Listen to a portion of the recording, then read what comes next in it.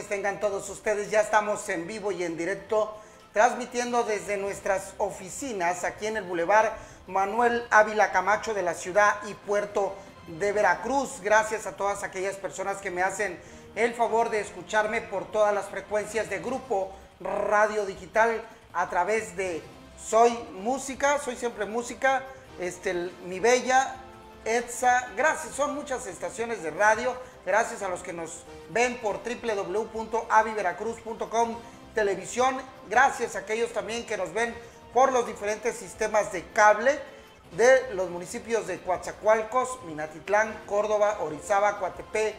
También a los que nos ven en Jico, Teocelo, en la capital del estado, Veracruz, Boca del Río. En fin, a todos aquellos. Gracias a mis amigos del municipio de Aptopan por conectarse y también de Alto Lucero, Veracruz. Un gusto saludarlos y el programa del día de hoy, el noticiero del día de hoy está de plácenes, ya que eh, por fin se nos hizo que regresara la médico. Médico, muy buenas, muy buenas noches. Buenas noches. Ya regresó la médico, ya está con nosotros otra vez. Vamos a tener un noticiero muy, pero muy bueno. Quiero darles a conocer que tenemos todo de este político del municipio de Atzalan que es señalado de darle muerte a una persona. Vaya qué historia. Tenemos la declaración de los familiares que piden justicia. También vamos a hablar de los dos hermanos que fueron baleados a sangre fría en la capital mundial de Limón, Persa. No se pierda la historia de la balacera que ocurrió en una colonia del municipio de Martínez de la Torre. También le diré de dónde era la persona que fue ejecutada a menos de 100 metros del cuartel, de la entrada del cuartel militar también en el municipio de Martínez de la Torre. Tengo el pronóstico del tiempo para las próximas 48 horas y también le tengo todo sobre los casos COVID, cómo van, dónde aumentaron los muertos a pesar de que el gobierno del estado de Veracruz dice que la cifra va bajando, va bajando, va bajando. Le tengo los municipios de la zona serrana donde el número de fallecidos va en aumento para que tome usted sus precauciones. Yo soy José Prigadá, vamos a un corte comercial.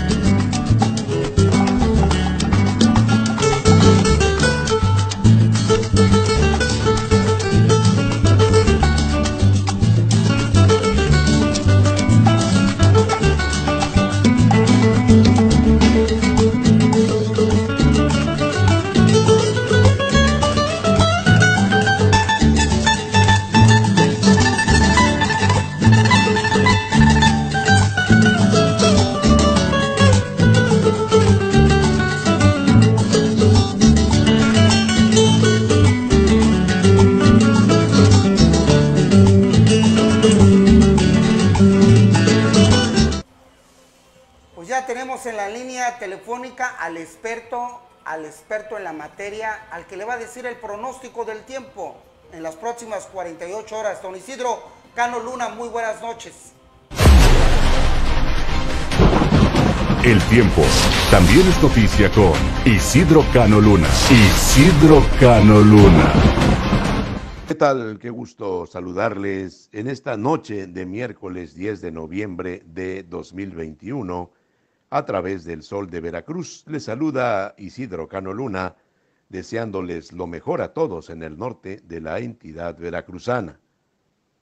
Las temperaturas al momento alcanzando valores en Poza Rica en 24 grados, algunos nublados, en Martínez de la Torre 22 grados, San Rafael 23 grados, en Vega de Alatorre, Gutiérrez Zamora 24 grados, en Tecolutla y Nautla 26 grados y en Tlapacoyan 20 grados, desde luego la región de Atzalan con 14 grados de temperatura, el cielo mayormente nublado y el pronóstico para nieblas esta noche. Para el día de mañana se prevé una mayor recuperación termométrica y esto debido a que está establecido un canal de baja presión atmosférica sobre el norte y centro de la República Mexicana, lo que da lugar a la entrada al flujo de aire marítimo hacia la vertiente oriental del país. Por tal razón, para el jueves, las temperaturas en máxima en la zona de Poza Rica, de Martínez de la Torre, estarán alcanzando los 30 grados a la sombra en general, con cielo despejado a parcialmente nublado.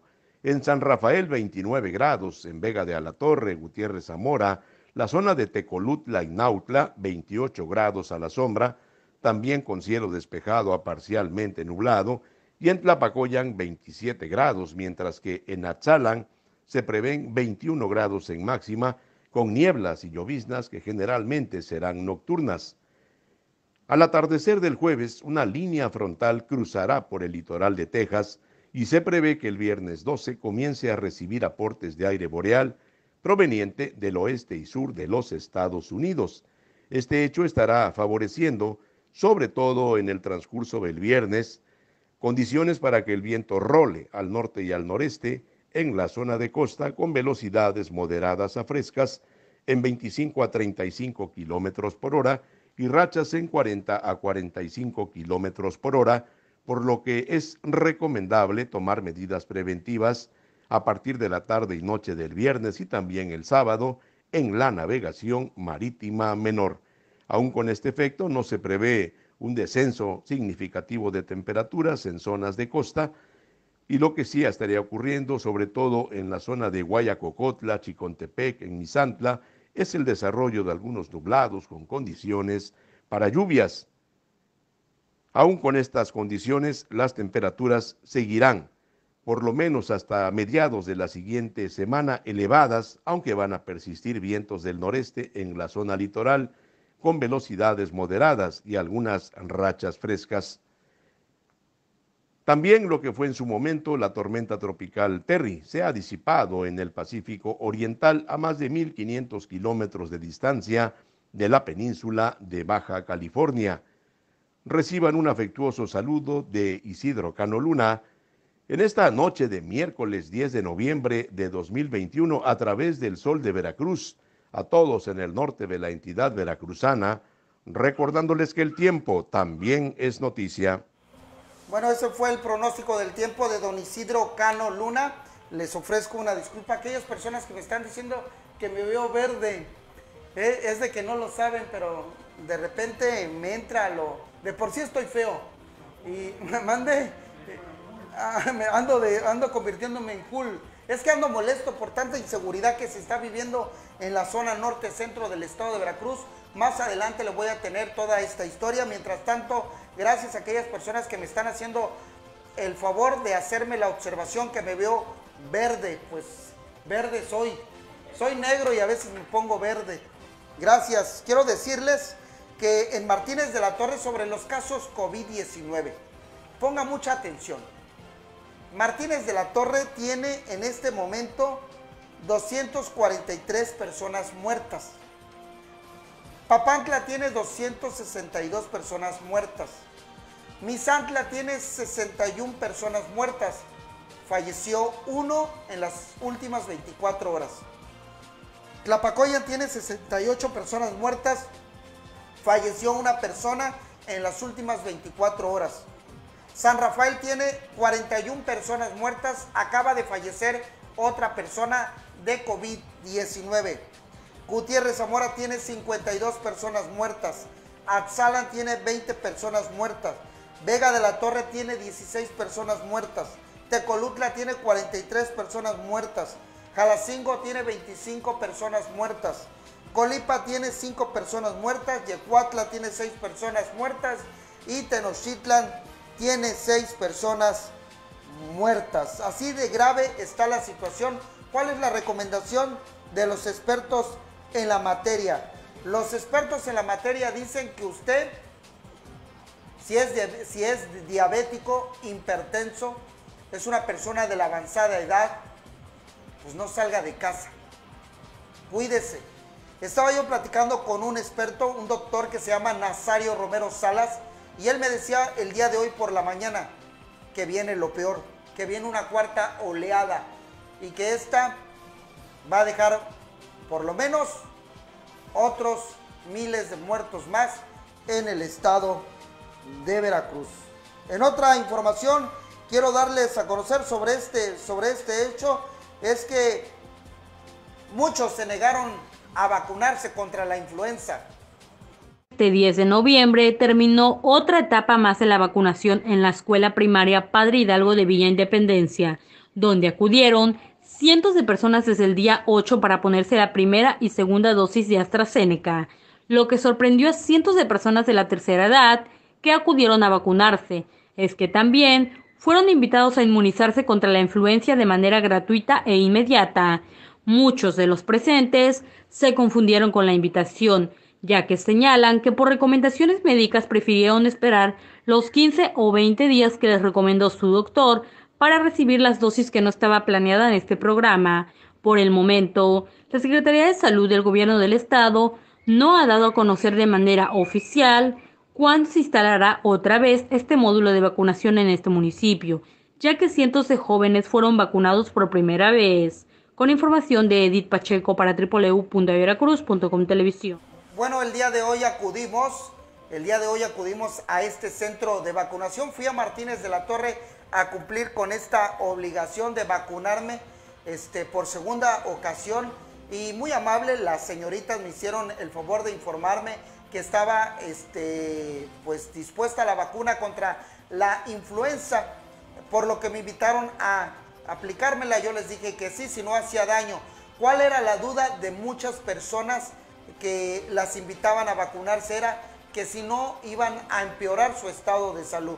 Porque muchos médicos les recomendaron que primero la del COVID-19 y dentro de 15 o 20 días la de la influenza.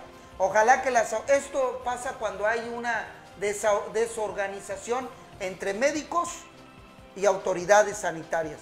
¿Por qué? Porque no están capacitados o no capacitan o no informan las autoridades sanitarias sobre este tema a los doctores de Martínez de la Torre, de San Rafael, de, este, de Misantla, de Tlapacoyan. Mucha gente llegaba y decía, oiga, este, y se me la pongo. Otra cosa que pasó el día de hoy en ese centro de vacunación es que mucha gente de plano no quiso vacunarse cuando le informaron, cuando le informaron que era cancino. Agarraron sus papeles y se salían. Y muchas se arrepintieron de haberse la puesta. ¿Por qué? Porque nunca les informaron que era cancino.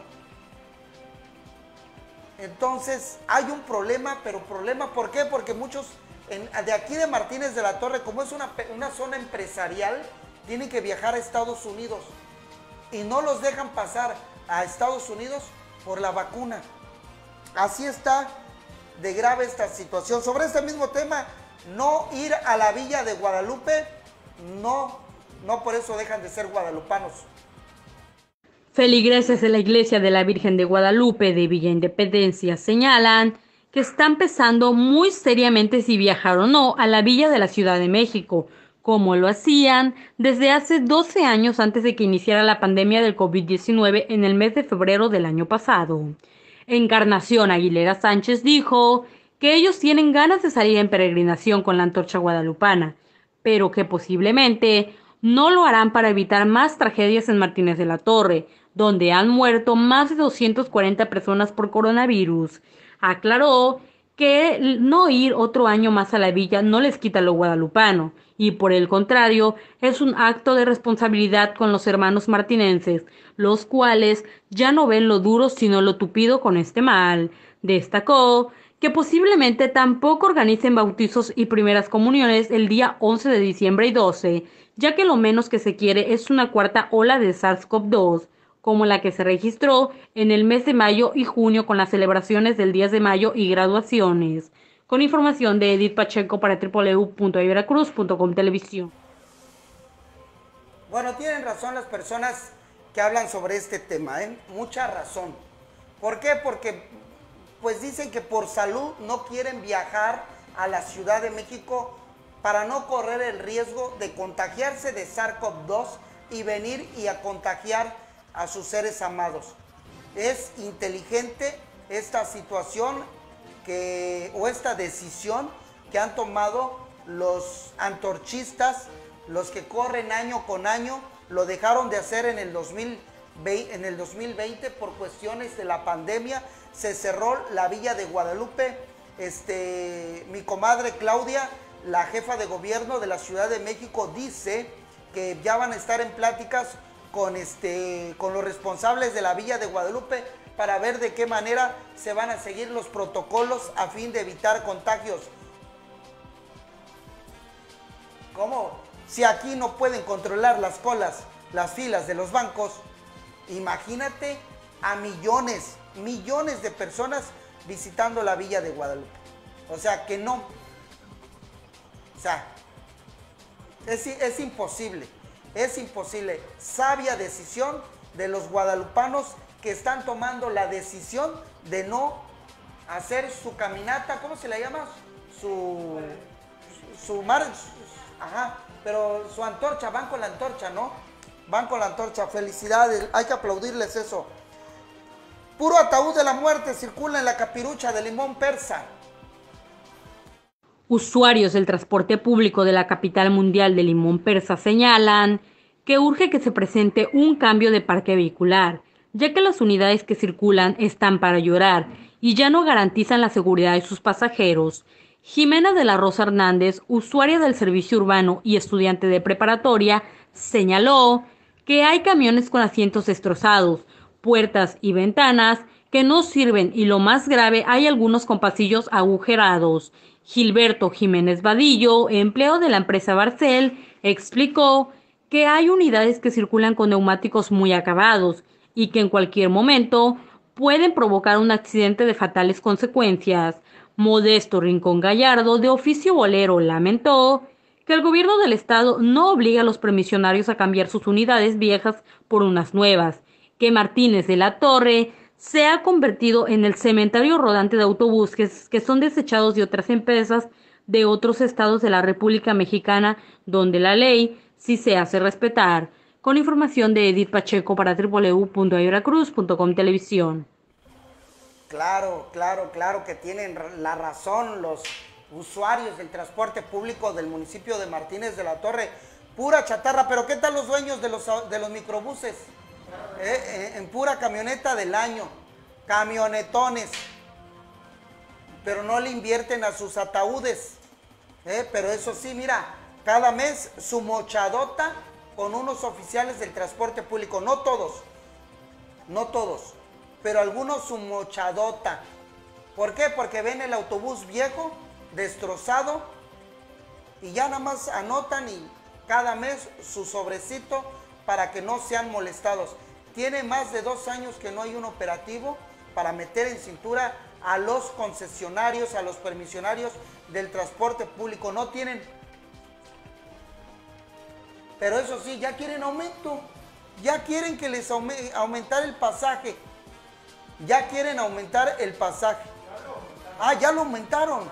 No tienen. ¿Eh? Imagínate, pero eso sí, no les no dieron ni una gota de, sanitizante en la pandemia. Ahí vienen los tengo fotos, ¿eh? Yo no hablo nada más a lo tengo fotos de microbuses hasta la en Martínez de la Torre. Y sin cubrebocas. ¿Eh? Principalmente los María de la Torre Tlapacoyan. ¿Eh? También los PACMI. Ojalá transporte público del gobierno del estado de Veracruz se ponga las pilas, se ponga a trabajar, dejen de ser corruptos y se pongan a hacer su trabajo, hijos de su... Quedó de 10 la carretera Puente Martínez 2.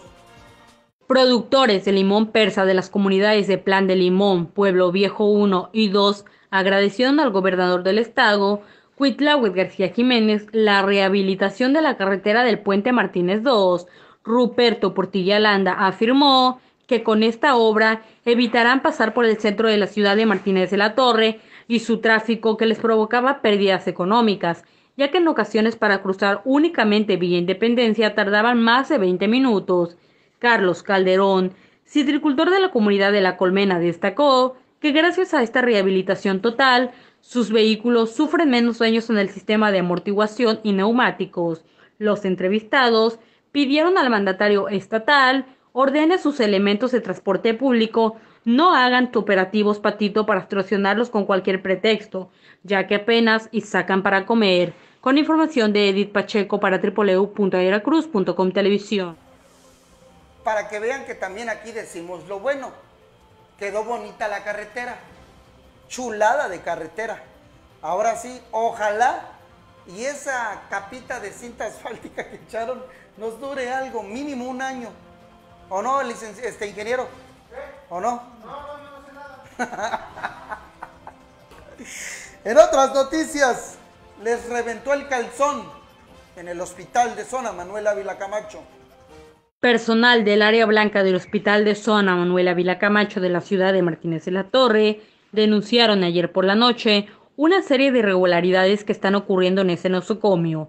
Destacaron que el director de esta institución ordenó retirar mobiliario que servía de apoyo a médicos y enfermeras para desempeñar bien su trabajo, aunque éste estuviera viejo y podrido. Aclaró el quejoso que lo más lamentable de esta situación que a pesar de que hay escasez de médicos en este hospital, por instrucciones de la Dirección General, se haya mandado a varios doctores a áreas donde poco o nada hacen para ayudar a los cientos de personas que llegan todos los días a pedir consulta. Destacaron que ellos no quieren que les vaya mal a la nueva dirección, pero que se haga un buen trabajo, ya que desde que llegaron las cosas van de mal en peor en ese lugar, desde el acomodo de doctores por miedo al sindicato hasta quema de mobiliario y medicamentos sin que haya castigo para nadie con información de Edith Pacheco para www.iveracruz.com televisión. Pero qué tal, ahí están las imágenes, ¿eh? Las imágenes de hace 24 horas en el hospital de zona Manuel Ávila Camacho. No son de hace un año, de hace tres años, no son, no, son de ahorita. Así están trabajando los enfermeros y los doctores del hospital de zona Manuel Ávila Camacho, donde algunos doctores que tienen a su quelite trabajando ahí, pues ya le dieron, ya le dieron, este, ¿dónde? Eh, quelite. Eh, ya, pues ya le dieron este huesito. Ya le dieron huesito. ¿eh? Y como a un doctor, a un doctor lo mandaron ahí estar sentadote nada más, en un despacho, donde no se hace nada. A otra doctora la mandaron ahí a hacerse nada más. Sí. Y déjame decirle, déjeme decirles que lo más grave del asunto es que usted es el que paga las consecuencias porque cuando llega a exigir una atención médica de calidad, pues no, no hay, no hay médicos, ¿por qué? Porque los pocos que sí trabajan, pues cumplen su turno y se van. Y los que no trabajan, pues nada más se la pasan echando novio. Se la pasan cotorreando el punto. ¿Por qué? Porque hay miedo al sindicato. ¿Por qué? Pero eso sí, ojalá la diputada Adriana Esther Martínez Sánchez sí sirve para algo, sí sirve. Mande. Para tomarse fotos. Ojalá y tome cartas en el asunto porque no sirve, lo dice el pueblo, que no sirve la señora para nada. Ojalá vaya y hable con el doctor Roberto Ramos Alor, quien es el secretario de salud, para que haya orden en ese hospital. Dice David Castillo Jul, sí, me estoy poniendo verde. Dice Pablo Pablo, hola, buenas noches, José Prigada, gusto saludarte, Pablo Pablo.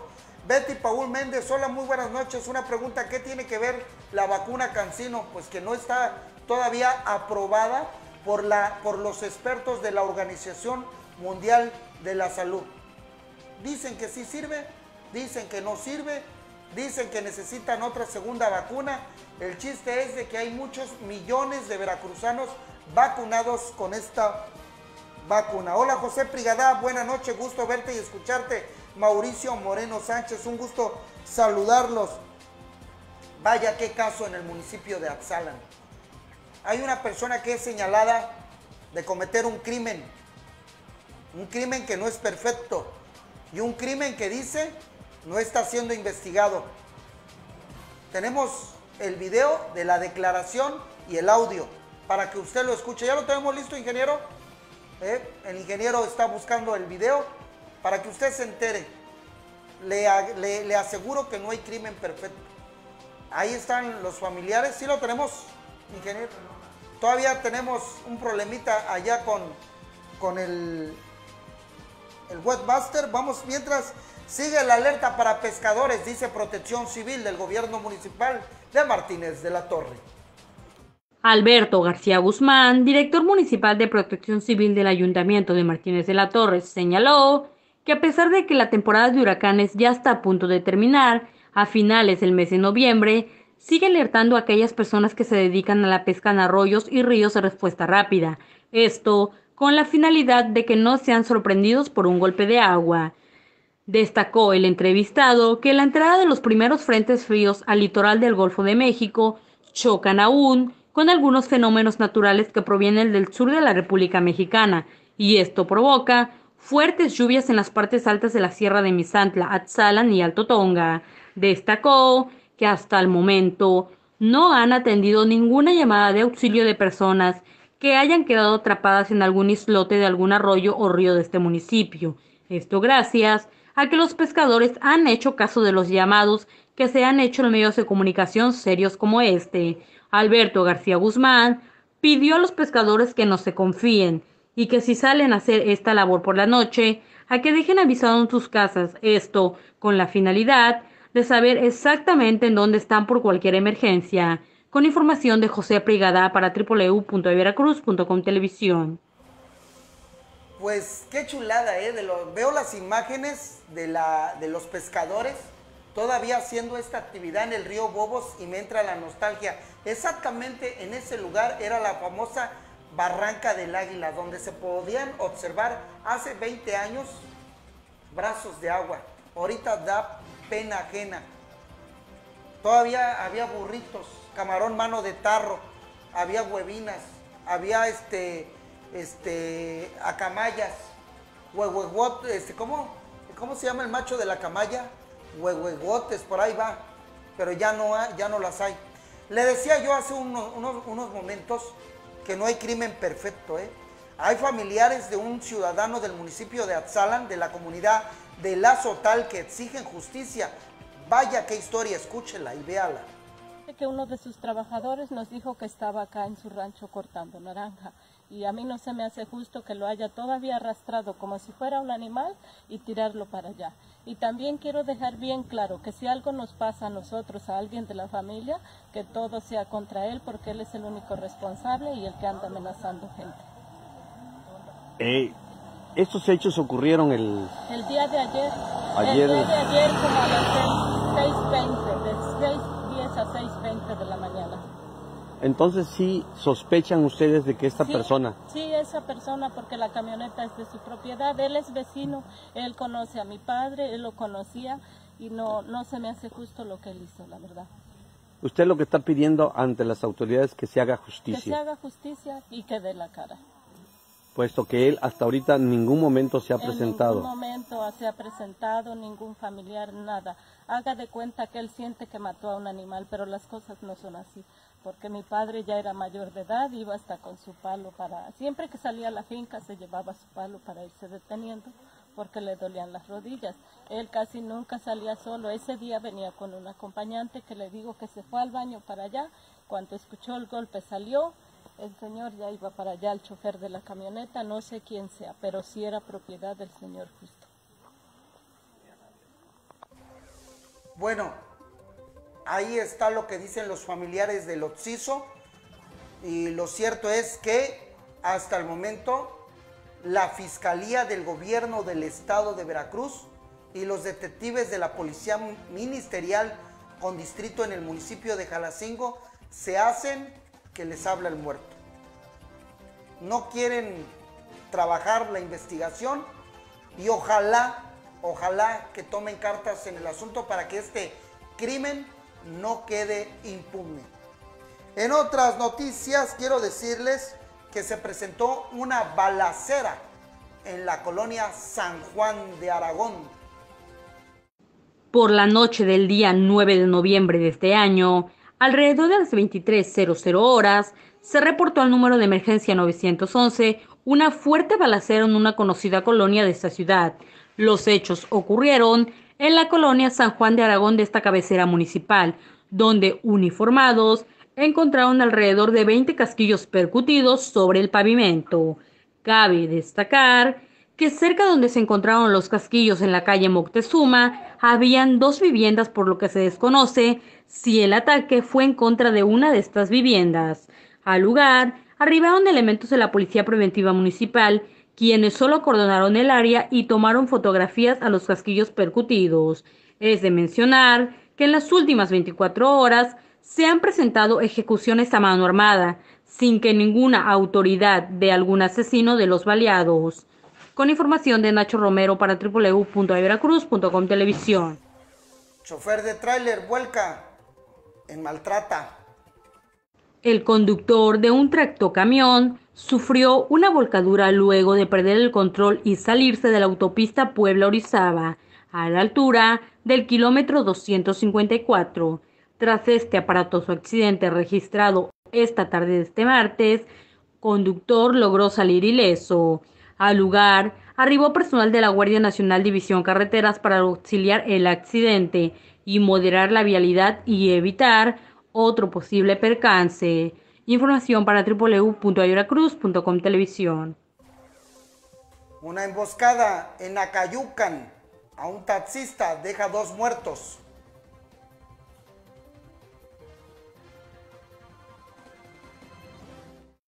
dos muertos y un herido, saldo de un ataque a tiros contra el taxi 911 de Acayucan.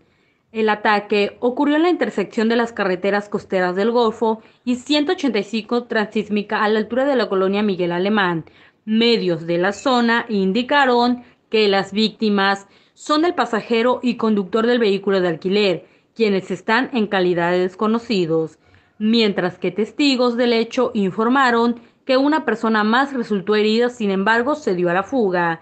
El área fue acordonada por elementos de la Fuerza Civil quienes iniciaron las pesquisas correspondientes por el hecho. Información para www.ayoracruz.com televisión.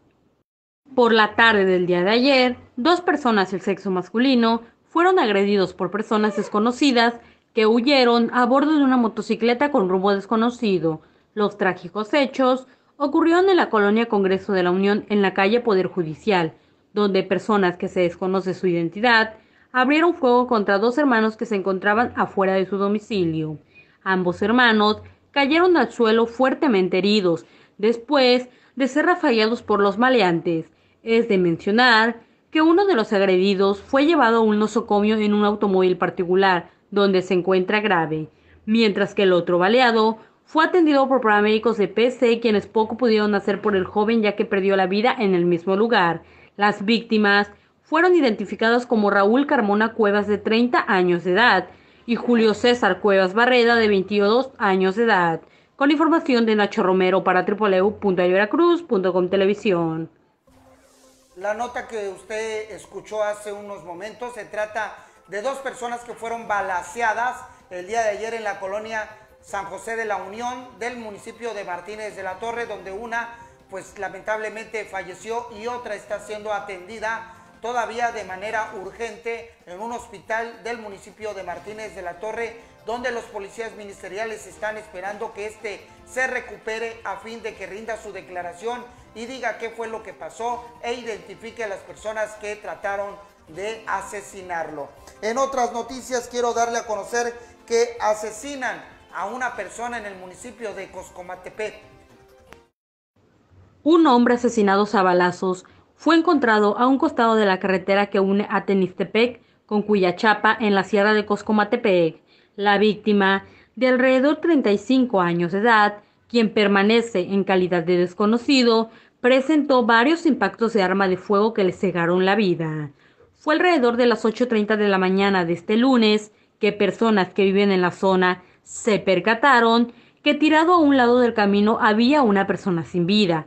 Al lugar se trasladaron elementos de la Policía Municipal de Coscomatepec, quienes confirmaron que se trataba de un homicidio, por lo que acordonaron el área.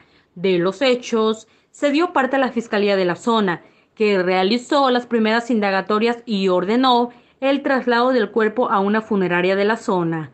Hasta el momento, el finado que vestía playera color rojo, pantalón negro y gorra permanece en calidad de desconocido. Información para www.veracruz.com televisión. En otras noticias quiero darle a conocer que pues ya no aguantan la pestilencia, la asquerosidad en el Brinco del Tigre.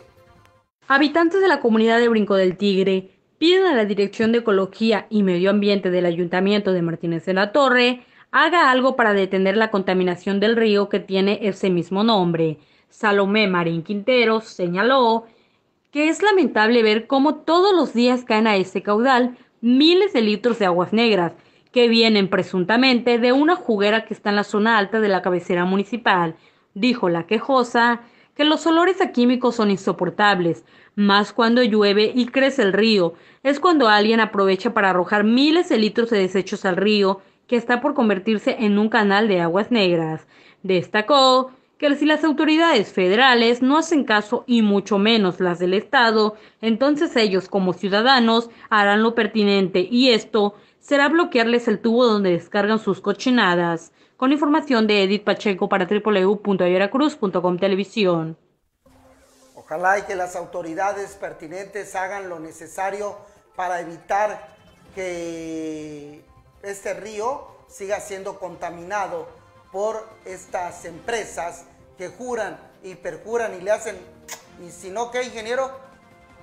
Con la otra, de que ellos no son, de que ellos no están contaminando, cuando la realidad es de que si usted llega a las 2 de la tarde a echarse un taco en esa zona, pues no aguanta la pestilencia. Y lo más lamentable es de que cientos de especies se están muriendo por esta contaminación. Hay una aclaración que quiero hacer y que me hace el favor de dármela. Mauricio Moreno. José, los baleados fue en la colonia Congreso de la Unión, no en la San José de la Unión. Muy acertada tu información. les ofrezco una disculpa por mi grave error. Soy un... pues sí. ¿Mande? Qué bonito. Le robaron 50 mil, pero 50 mil pesotes un par de delincuentes que viajaban a bordo de una motocicleta asaltaron a una persona de la tercera edad que caminaba por la avenida Pedro Belli del centro de la ciudad de Martínez de la Torre.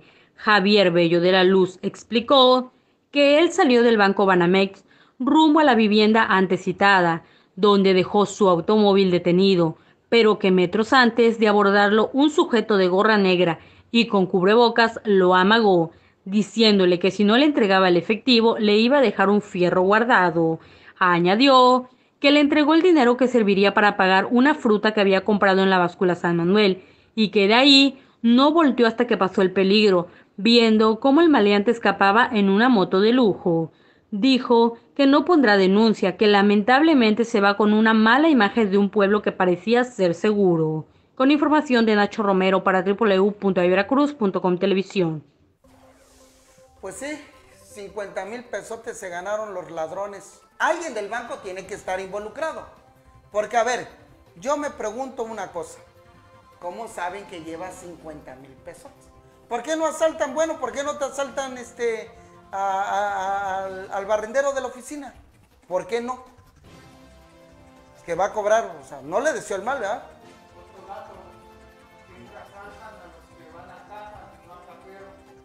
O sea, ¿por qué? Alguien ahí da el pitazo, ¿eh? Alguien de ahí da el pitazo y sabe a quién y cómo. Y mueve el dato, ¿eh? Oye, va a salir una persona, así, así, así. Síguela. Ojalá que las autoridades tomen cartas en el asunto. En otras noticias quiero darles a conocer que ya no le siguieron a la carretera. Taxistas que circulan por la carretera federal Martínez de la Torre San Rafael señalan que al personal de la Secretaría de Comunicaciones y Transportes les quedó mucho a deber con la rehabilitación de esta cinta asfáltica. Doroteo Montoya Cardosa, de oficio chofer de taxi, señaló que el trabajo que vienen haciendo los empleados de la Secretaría de Comunicaciones y Transportes deja mucho que decir, y a esto hay que sumarle que todavía falta mucho por hacer. Rubén Aparicio Domínguez, afirmó que transitar por esta vía de comunicación es un peligro para todos, aún principalmente si se hace de noche y con lluvia, ya que los cientos de baches quedan tapados y convertidos en trampas mortales. Ambos entrevistados señalaron que la maquinaria de la Secretaría de Comunicaciones y Transportes está parada desde hace varios días en la calle principal de la comunidad de Piedrilla, donde los trabajadores dicen que no pueden avanzar por la falta de material y pago. Con información de Violeta Santos para www.iveracruz.com Televisión. Pues, pues así quedó la carretera y así está quedando. Pero ¿qué tal la diputada local, la Adriana Esther? Sus 150 mil pesotes mensuales. Por cierto, hablando de esto, dice Damari Gómez, señor Prigadá, oiga, ¿por qué? Este, ¿Quién está pagando los gastos de, las, de, de los módulos instalados en los parques para firmar a favor de AMLO? Pues los morenos. Ahí sí no reparan en gastos los, los, diputados de Morena. Ahí sí no. Pasan la charola. Las, ¿cómo dice el presidente, el cabeza de algodón? ¿Cómo dice las cooperaciones voluntarias? No, las aportaciones. Son aportaciones. Ahí sí. Eh, hasta despensas andan dando. En mande. En Tlapacoyan están dando unas señoras despensas para que vayas a votar, para que vayas a firmar. Tú firmas y te dan tu despensota. En Tlapacoyan, en Iztacuaco, en La Palmilla están dando despensas y en Martínez de la Torre están dando de a 500 y de a 1000 pesos para que nada más vayas a firmar. Nada más para que se le cumpla el capricho al presidente. Hablando del presidente, Andrés Manuel López Obrador fue a Nueva York el día de ayer. él presidió, México presidió, no él. Él, este, nuestro empleado, nuestro gato, el presidente Andrés Manuel López Obrador, fue a, presidir el Consejo de Seguridad en la Comisión de las Naciones Unidas. Mire cómo lo recibieron en el avión.